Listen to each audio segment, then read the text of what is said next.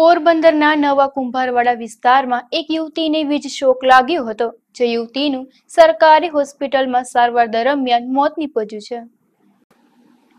પોરબંદરના નવા કુંભારવાડા વિસ્તારમાં રહેતી અક્ષા રજાકભાઈ ઘટકાઈ નામની અઢાર વર્ષની યુવતીને ખાડીકાંઠા વિસ્તારમાં તેના ઘર નજીક રહેતા એક અર્થિંગના વાયરમાંથી વીજ શોક લાગ્યો હતો.